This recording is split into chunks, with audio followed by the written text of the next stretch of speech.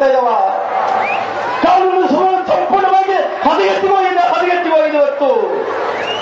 ಇವತ್ತು ಸರ್ಕಾರ ಏನು ಉಳಿದಿಲ್ಲ ಇವತ್ತು? ಸರ್ಕಾರ ಏನು ಉಳಿದಿಲ್ಲ ಇವತ್ತು? ಆ ಸರ್ಕಾರಕ್ಕೆ ಗೊತ್ತಾಗಿದೆ, ಮುಂದೆ ನಮ್ಮ ಸರ್ಕಾರ ಬರಲ್ಲ. ಮುಂದೆ ಬರ್ತಾ ಇರೋದು ಯಡಿಯೂರಪ್ಪ ಸರ್ಕಾರ, ಭಾರತೀಯ ಜನತಾ ಪಕ್ಷ ಸರ್ಕಾರ. ಎಷ್ಟು ಲೂಟಿಯನ್ನು ಮಾಡಬೇಕು?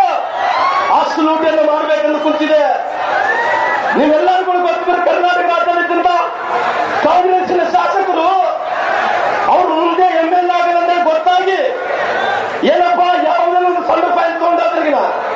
ಯಾವುದನ್ನೊಂದು ಕೆಲಸ ಆಗ್ಬೇಕಂತ ಹೋದ್ರಿಗಿನ ಅದು ರೈತರು ಯಾರನ್ನ ಹೋಗಿ ಹೊಲಗದ್ದೆಗಳಿಗೆ ಇವತ್ತಿನ ಸಬ್ಸಿಡಿ ಬೇಕಂದ್ರೆ ಕೂಡ ಬಡವರು ಯಾರನ್ನ ಮನೆ ಬೇಕಂದ್ರೆ ಕೂಡ ಮೊದಲು ಲಂಚ ಕೊಡು ಲಂಚ ಕೊಡು ಲಂಚ ಕೊಡು